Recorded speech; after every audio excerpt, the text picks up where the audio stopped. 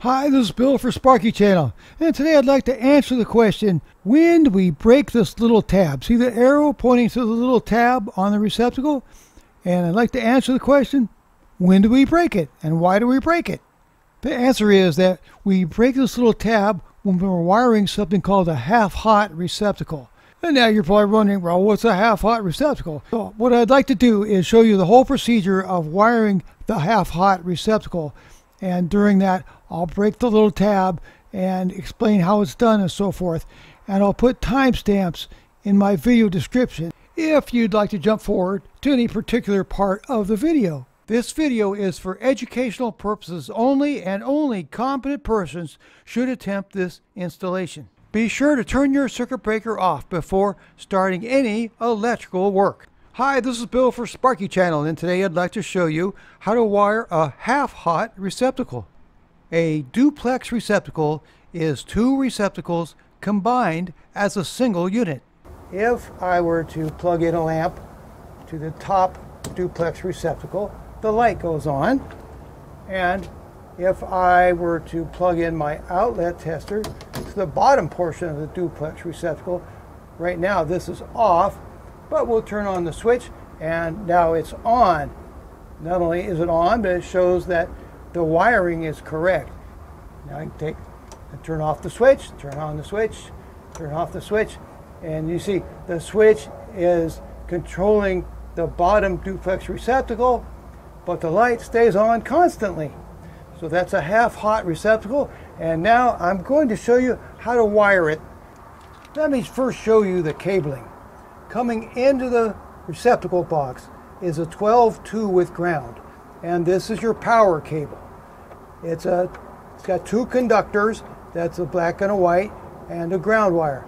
And I have this one labeled line. So this is what brings the power into the box. And right here, I have a bonding wire that bonds the metal box to the grounding system of the house.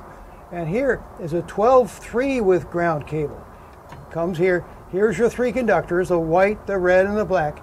And we got the the bare ground wire. And it comes over here.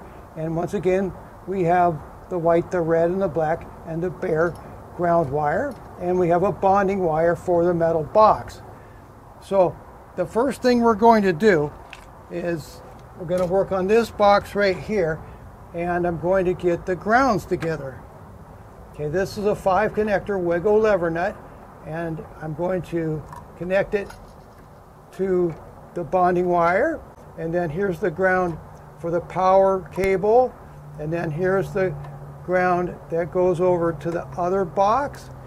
And I have prepared a pigtail that I'm going to put right here that is going to go to the receptacle. The receptacle is going to go like this. And the reason I'm putting it this way is assuming the rest of the receptacles in the house were oriented like this. I want to put this one with the grounds up to signify to the homeowners that this is a half hot. And so we're going to have this one be switched and this one be hot. And the ground wire is up on the top. I'm going to go ahead and push these back in the back of the box like that. And then we have our ground wire right here on the top. And now I'm going to get the neutrals together. So I have a three connector Wago lever nut. I'm going to go ahead and put the neutral that comes from the power wire together with the neutral that goes over to the switch and I'm going to put a pigtail, a, a white neutral pigtail, and this one will go to the receptacle. And the neutral is going to be on the left hand side. So when we put it in, let's put it over here on the left hand side. There's your neutral, there's your ground. Now this is your line wire. This is the one that's hot all the time. And this is the hot wire going over to this switch. The return wire be the red wire. That'll be the switch wire. So here's a three wire Wago lever nut. Go ahead and put that in there. And we'll put this in here. And I have a pigtail.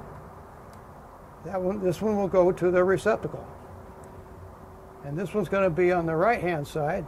So let's push this right over here. This is the hot wire that's hot all the time, and this is the hot wire that is hot in a switched manner. The next step is to put on the mud ring. Now I'm going to put the ground wire to the green grounding terminal. The next connection will be the white neutral to the silver neutral terminal. Right there. And there is a tab right here which will bring the neutral energy to both of the terminals.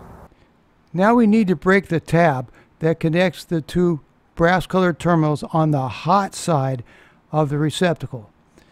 So take your needle nose pliers or electrical installation pliers and grab the tab real well and now you're going to just go back and forth, back and forth. See, back and forth, back and forth. And there it is. It broke right off. That's very necessary for wiring a half-hot receptacle. Now we're going to wire the hot side of the receptacle that has the broken tab. So now we have the line wire that is going to go to the top terminal of the duplex receptacle. We're going to tighten that up.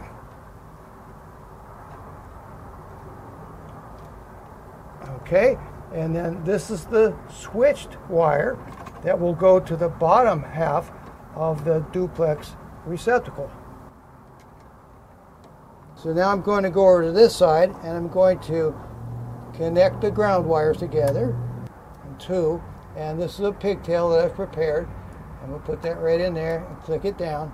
Now this is the white neutral terminal and I'm just going to cap this off with a lever nut and we're going to put this into the back of the box. The neutral wire will be available in case someone wants to put a switch like a timer switch or something like that later on. And it is code since 2011 for most cases that you have a neutral wire in your switch boxes. So here's the two switch wires and here's the ground wire. First we're going to put on the mud plate. All right, the switch says top right here the ground wire around the green grounding terminal, crimp it, and tighten it down. Then put the red and the black wires to the brass colored terminals and tighten them down. So now we're going to dress the wires and put the devices in the boxes. Now we're going to put on the screwless wall plates. They just click on like that. Okay. There you go. Now I'll turn on the circuit breaker and let's see how it works. Now I'll plug in the light. Okay, the light works. And I'll plug in the receptacle tester and this indicates that the wiring is correct. And let's see. Okay, we can control it with the switch. So this is hot all the time and this is controlled by the switch. So there you have a half hot receptacle with the power coming to the receptacle. Stay tuned to Sparky Channel for a video that's going to show you how to achieve a half-hot receptacle when the power comes to the switch, not the receptacle. This video hasn't been sponsored by anybody, so I just used what I felt was the very best of each tool and device. I'll put links in my video description for the Fluke 1AC voltage detector, the Fluke 117 electrician's meter, the Fluke meter hanging kit, the Leviton Decora Plus spec grade 20 amp receptacle, and the Leviton Decora Plus spec grade switch. The Leviton Decora Plus spec grade rocker three-way switches, the DeWalt 12 volt max impact driver, the Wiha number 2 1000 volt insulated Xeno driver which fits the Leviton terminals perfectly, Wago lever nuts, the DeWalt cable stapler, Knipex electrical installation pliers, and 8-inch diagonal cutters. And I'll include a link for my video, how to install a marked controlled receptacle. Thanks for watching.